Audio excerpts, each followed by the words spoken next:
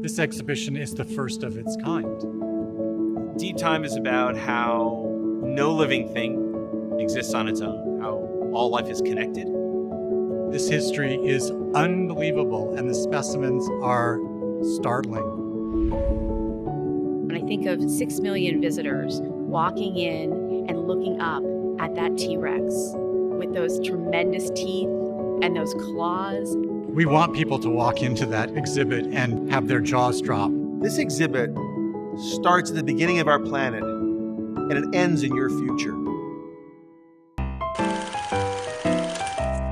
The previous Hall of Fossils opened in 1911 with a bunch of skeletons, and it slowly evolved over a century. And when we closed this hall in 2014, it was an amalgam of many partial renovations of the hall.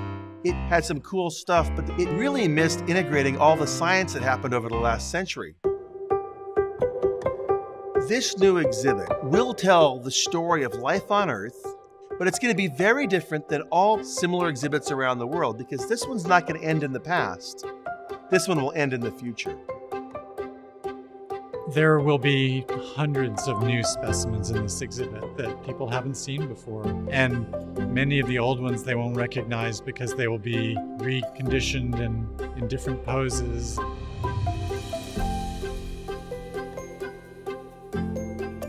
we have included a number of actual, real, touchable fossils in the exhibit space to help people engage. They can feel the texture of a tooth, of a vertebrae, of a skull.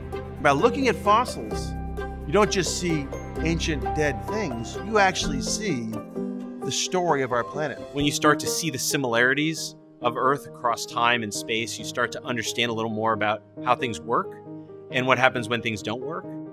On this planet, we've come to play a mighty big role. We change the composition of the atmosphere, we change the climate, we change the chemistry of the ocean. And the result is we have a, a, much greater obligation to understand how those systems work than we ever had. By better understanding where we came from, we can understand where we are today and where we might go into the future. The story of our planet is, in fact, a remarkable tale. This exhibition will be larger than life.